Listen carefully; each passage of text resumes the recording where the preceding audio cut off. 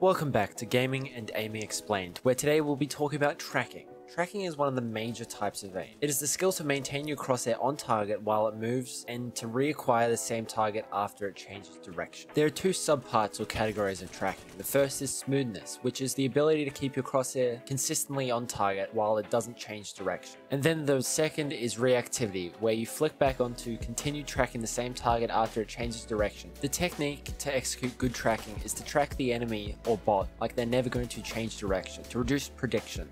Then when it changes direction do a small flick to reacquire it as fast as possible. Tracking is mostly utilized in games with a relatively high fire rate and a long time to kill like Overwatch, Quake, Apex Legends and many other games.